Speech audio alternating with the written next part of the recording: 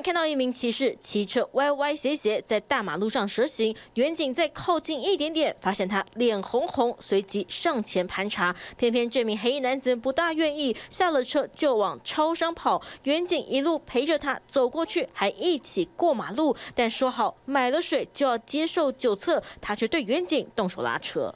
骑士醉醺醺骑车上路，没想到被警方拦了下来。他疑似不满远景给他的水太少了，执意要到超商来买矿泉水来喝。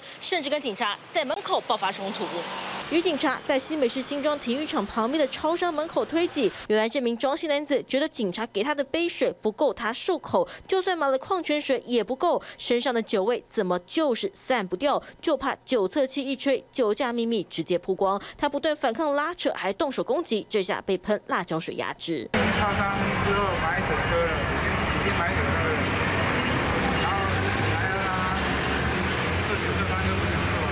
第三度酒驾，他当然不想被逮啊，他被逮就就要去关了啊，他当然都会排斥啊。三十八岁庄姓男子酒测值零点四三，超标，涉及公共危险，对警察动粗，再多了一项妨害公务。警方调查，他不是第一次酒驾，五年之内已经有两次记录，加上这回就是第三次。供称中午喝了啤酒，下午两点多骑车出门，以为自己很可以，但酒精没退就是没退，骑车摇来晃去的，要巡逻远景，不注意他也很难。TVN 卢红昌李杰新闻报道。